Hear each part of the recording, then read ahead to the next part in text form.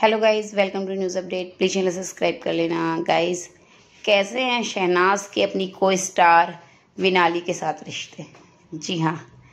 देखिए जस्सी गिल के बारे में बात की गई, सिद्धार्थ निगम के बारे में, कि दोनों शहनाज को कितना पसंद करते हैं, कितनी केयर करते हैं।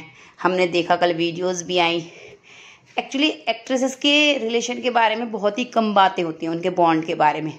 क्योंकि ज़्यादातर कैट फाइट देखी जाती है बॉलीवुड में, कहिए या आई टी वी पर, कहिए यानी टीवी पर तो वहाँ पे ज़्यादातर कैट फाइट देखी जाती है। यानी दो एक्ट्रेसेस के बीच की लड़ाई, झगड़ा आपको ज़्यादातर दिखाया जाएगा।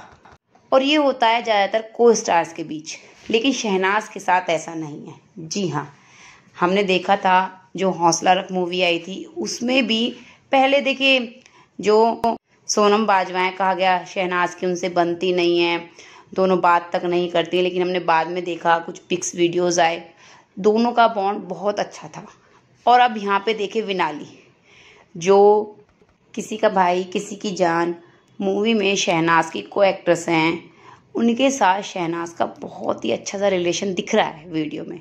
आप देखिए, जिस तरह से विनाली शहनाज को पकड़कर अपने बीच में को लेके आती हैं और उससे पहले हमने देखा, जब बाहर आ रहे होते हैं, पार्टी एरिया से, पार्टी वेन्यू से, मीडिया से बात करने के लिए, तब भी वो शहनाज को इस तरह से पीछे से पकड़कर और हँसते हुए तो मतलब यहाँ पे देखने को मिल रहा है कि हाँ वो शहनाज को बहुत पसंद करती हैं और दोनों का बॉन्ड बहुत क्यूट सा है, बहुत अच्छा सा है।